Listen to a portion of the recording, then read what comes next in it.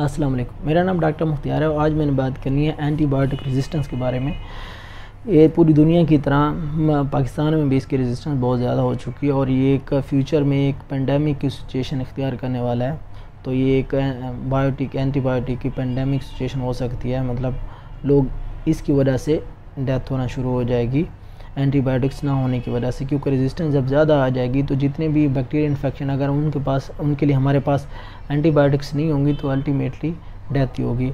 और 2015 में जो है, तकरीबन पचास हज़ार लोगों की डेथ हुई थी, और पिछले साल में तकरीबन सात लाख लोगों की डेथ हुई थी मतलब इस रेजिस्टेंस की वजह से। और एक अंदाजे के मुताबिक अगर यही हाल चलता रहा तो 2050 तक इसकी जो डेथ रेशो है, वो एक करोड़ तक पहुँच जाएगी।